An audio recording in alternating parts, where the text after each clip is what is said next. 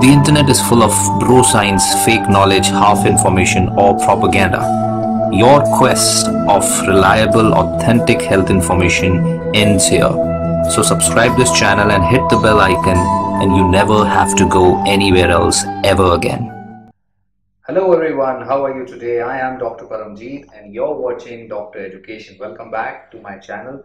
As you know, I make videos about health and healthcare topics and today I am going to talk about night falls. Yes, you need to know what are night falls. They are also called wet dreams, lucid dreams or involuntary ejaculation this can happen in males as well as in females. Yes, and in medical language it is called nocturnus, nocturnal emesis, right? Nocturnal emesis. Nocturnal is means nighttime and emesis is ejaculation, ejection, right? So what is this problem, right? What exactly is this? How it is defined? What causes it? How common is it?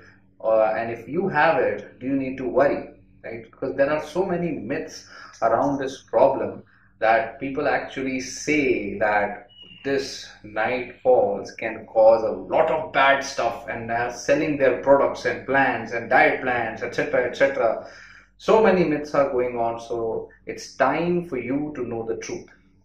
So let's start.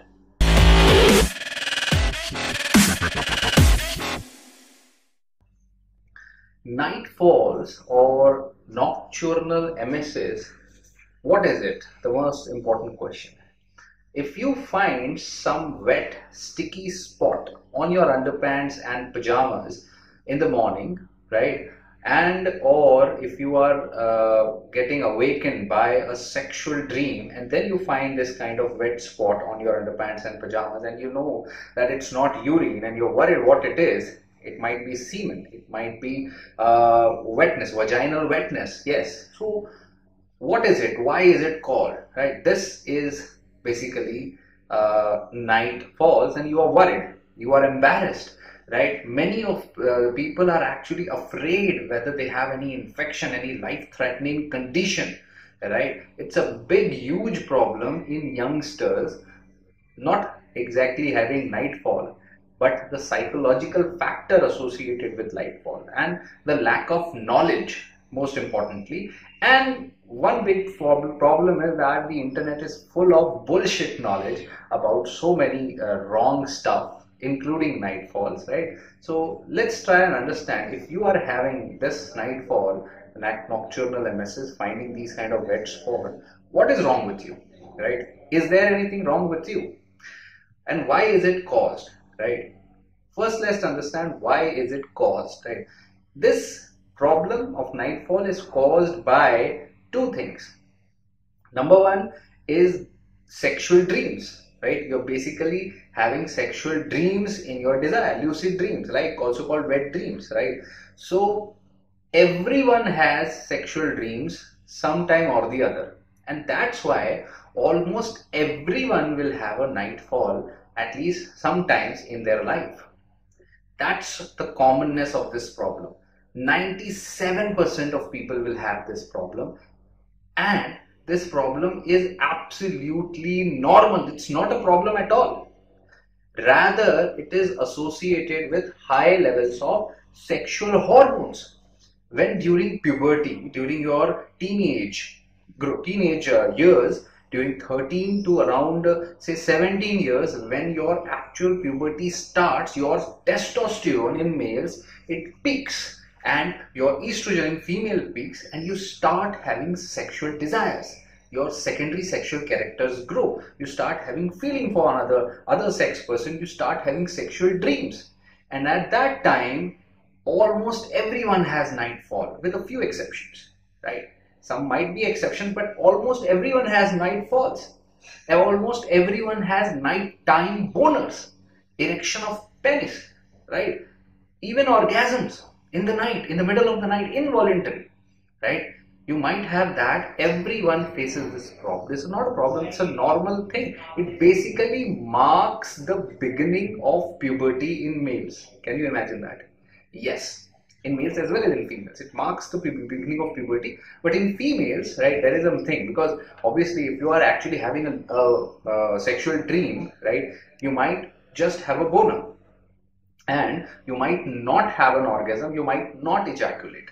But if you do ejaculate, if you do have a boner, then you might get up immediately after having that orgasm, or you might sleep it off, right? You might sleep through it, right? But in cases of female, vaginal wetness can also happen because of other reasons, right? And that's why if a female has sexual dream and has vaginal wetness, and then after orgasm she wakes up, right? That is called a wet dream. That is called a nocturnal emesis in cases of females. But in males, you might wake up, you might not wake up. If you're having that sticky spot in your underpants, it's nightfall, it's nocturnal emesis. Like you might have a boner. And it's as common, as normal as having a boner whenever you see something sexy. Whenever you see something exciting, you get excited. Is that a problem? Is that a disease? No. That's the thing.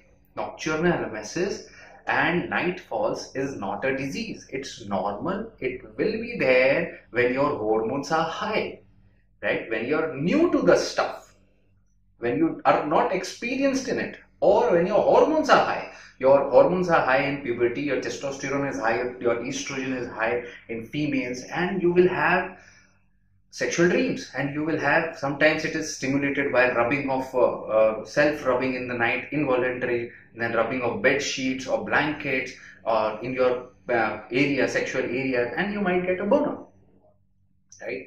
So this is the basic reason. It is not something to be embarrassed of. It is just as embarrassing as a boner in public area. But it is not something abnormal. It is not a disease. It's not an infection. It's not a cancer. You're not going to die Nobody is going to die because of this. It's normal and it will go away slowly. Go away on its own. As your hormonal level declines with age, as your sexual experience increases, right, your sensitivity decreases and this will slowly go away. That's it, right? It is not related to any disease. It is it's it's it, this problem has so many myths going around. If you will actually go to the internet and type this problem there is not even one place where proper knowledge has been given. So if you will go to the internet and search about night falls nocturnal emesis there are so many sites so many so-called fake doctors and so many so-called sexologists who say so many bullshit things just to sell you their plan, sell you their product, lure you into their own uh, clinics, etc., etc. It's not a disease. It's as common as having a boner, getting excited after seeing a sexual song or something which is sexually appealing to you. And it increases by hormones, and that's why bodybuilders have it more because they are exercising and increasing their testosterone. Many of them are taking testosterone boosters, and if you are boosting your testosterone, your sexual desires also boost, your sexual dreams also boost, you will also have wet dreams and night falls. It's normal, right? Over time, it will decrease as your hormones get back to normal, they will decrease. This is the basis of uh, this night falls. Even if you see research over it, somebody who is not taking any supplements, right, testosterone booster supplements, and they have uh, a normal level of nightfall, like something like 17%, it increases to 90% who actually use testosterone supplements. It's related to your hormones, right? It's related to your dreams, your feelings, sexual desires. So it's not related to masturbation, right? Some people, some of them say that uh, if you increase, if you masturbate a lot, you will have nightfall. No, it's not related. If you masturbate a lot, you might not have nightfalls because obviously you are decreasing your sensitivity. It's a myth. Then they, some people say if you watch a lot of porn, then you will have nightfalls. It's unrelated. It's related to your sexual feelings and your hormones, right? If you watch a lot of porn, you might get desensitized. You might not get excited after seeing a naked girl or somebody else. So how would you have night falls if you're not even have a boner?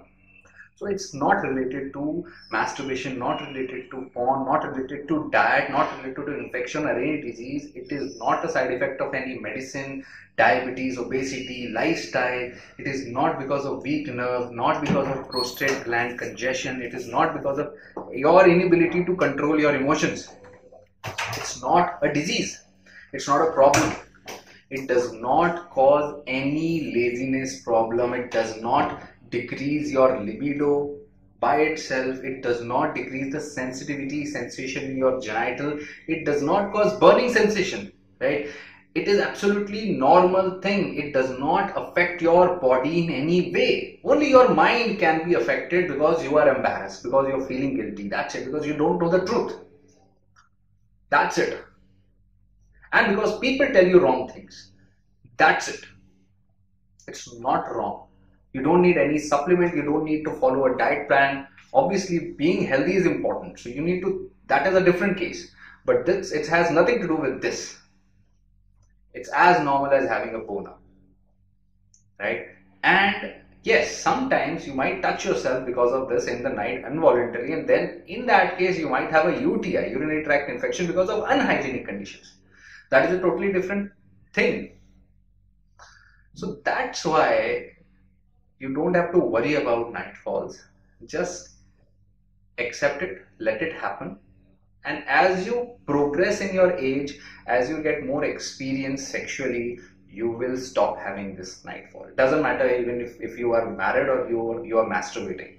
If you are having sexual experience, you will have low, decreased nightfalls. So please don't worry about nightfalls and don't uh, get worried because of people say wrong things to you, right? Uh, study about it if you want to. It's also called nocturnal emesis. You can go to important uh, reliable sites like PubMed and study and don't go to bullshit website uh, reading about it.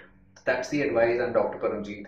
I'm a consultant physician and cardiologist. There are more videos related to these topics on my channel, erectile dysfunction. There is a video on premature ejaculation. There is a video on infertility, low sperm count. Whole series is there. Don't forget to watch them. And uh, don't forget to subscribe and hit the bell icon and share this video. Don't hesitate. I know it's a sensitive topic. It's a little bit, but you don't have to hesitate because there are people worried there are people worried and there is no one to give them proper guidance, real knowledge. Nobody. Right? You can go online and search nightfall. You won't see even one medical article proper from a doctor because from actual doctor, from bullshit doctors, there are so many there. So many wrong information is there. So please share, please subscribe and please comment and let me know how you feel about this video. I'm Dr. Paramjeet and you're watching Doctor Education. Stay connected, stay healthy.